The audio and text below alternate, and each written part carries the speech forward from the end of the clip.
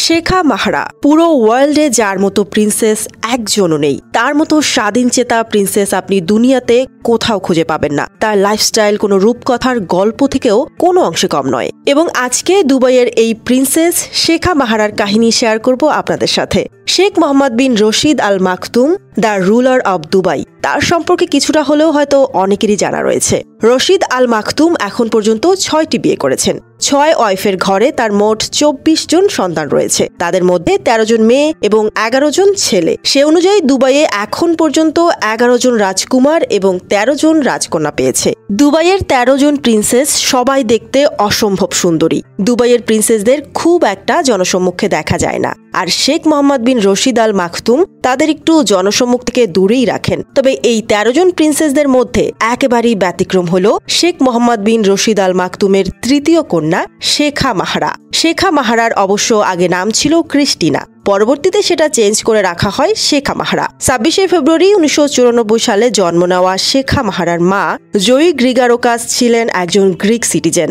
বাদশার সাথে তার ডিভোর্স হয়ে গেলে শেখা মাহারা তার বাবার সাথেই থাকতেন। তবে শেখ মোহাম্মদ বিন রশিদ অন্য প্রিন্সেসদের থেকে মনে হয় তাকে একটু বেশি ভালোবাসেন, একটু বেশি তাকে স্বাধীনতা দিয়েছেন। শেখা মাহারা বাইরে বের হলে অন্য প্রিন্সেসদের মতো তিনি হিজাব ব্যবহার করেন না। হর হামেশা যেখানে মন চায় চলে যান কনসার্ট দেখতে চলে যান লাইফস্টাইল অ্যান্ড বিভিন্ন ফ্যাশন উইকেও তাকে দেখা যায়। অনেক এক্সপেন্সিভ ড্রেস জুয়েলারিও ব্যবহার করেন। দেশ বিদেশে ঘুরে বেড়ান। তবে একবার যে ড্রেস পরেছেন, সেটা কখনোই আপনি তাকে আর পড়তে দেখবেন না। ড্রেসের ব্যাপারে তার কোনো বাধ্যবাধকতা নেই। শেখ মোহাম্মদ বিন রশিদ আঠারো বছর হওয়ার সাথে সাথে সবাইকে জোর করে বিয়ে দিলেও, শেখ মাহারা আটাশ বছরের হলেও তাকে এখনও তিনি বিয়ে দেননি। তার স্বাধীনতায় কখনো হস্তক্ষেপ করেননি। যদিও শেখা মাহারার লাভ লাইফ নিয়ে কিছু গুঞ্জন রয়েছে, যেমন শেখা মাহারা নাকি পাকিস্তানি ফর্মার প্রেসিডেন্ট ইমরান খানের ছেলেকে প্রপোজ করেছিল, যদিও এটার কোনো সত্যতা পাওয়া যায়নি। আবার এমন গুঞ্জনও ছিল,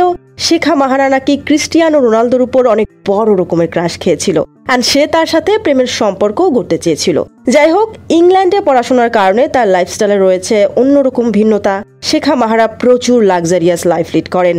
জানলে অবাক হবেন যে তার শখ হচ্ছে হর্স রাইডিং তার মোট এগারোটি ঘোড়া রয়েছে। এর মধ্যে সব থেকে দামি ঘোড়াটির প্রাইস তিন দশমিক ছয় মিলিয়ন ডলার বাংলাদেশি টাকায় প্রায় ত্রিশ কোটি টাকা। এই ঘোড়াগুলোকে দেখভাল করার জন্য প্রতি বছর খরচ করেন চার মিলিয়ন ডলার তাছাড়া তার রয়েছে দুটি রয়্যাল বেঙ্গল টাইগারও, যার পেছনে খরচ করেন অন্তত এক কোটি টাকা। শেখা মাহারা তার চব্বিশতম জন্মদিনের সময় বাবার কাছ থেকে চৌত্রিশ কোটি টাকার একটি গাড়ি গিফট পেয়েছিলেন। তবে সেই গিফটের গাড়ি ছাড়াও তার কার কালেকশনে রয়েছে? ল্যাম্বরগিনি ফেরারি বিএমডাব্লিউ আরও কত ব্র্যান্ডের কার? মাসে যে কয়টা কার চেঞ্জ করেন সেটার কোনো হিসেব নেই। শোনা যায়, শেখা মাহারার একটি প্রাইভেট বিমানও রয়েছে। তার বিলাসী জীবনের শেষটা কিন্তু এখানেই নয়।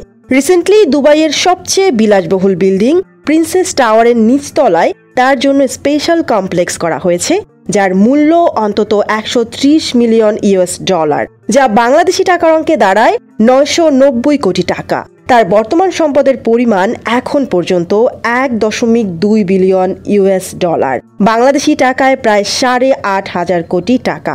এগুলো সবই তিনি তার বাবার উত্তরাধিকার সূত্রে পেয়েছেন। তাহলে শেখা মাহারার জীবন কাহিনী শুনে আপনার কেমন লাগল? জানাবেন কিন্তু।